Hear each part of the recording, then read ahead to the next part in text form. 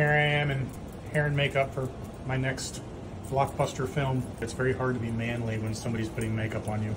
So if I'm wearing makeup, I'm not allowed to wipe my face. I have to like tap my face. Yeah, what- like if you're, it's like, called Are you telling me that all women tap their face all day? When They should, but some of them white. Yeah. but- All right, this is way too much work.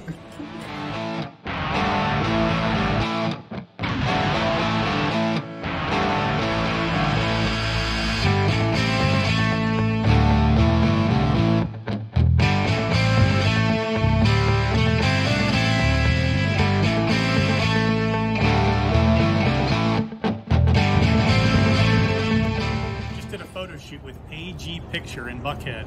It's our lovely photographer over here. This is my second photo shoot with her. She does amazing work. If you need uh, photography work done, AG Picture in Buckhead.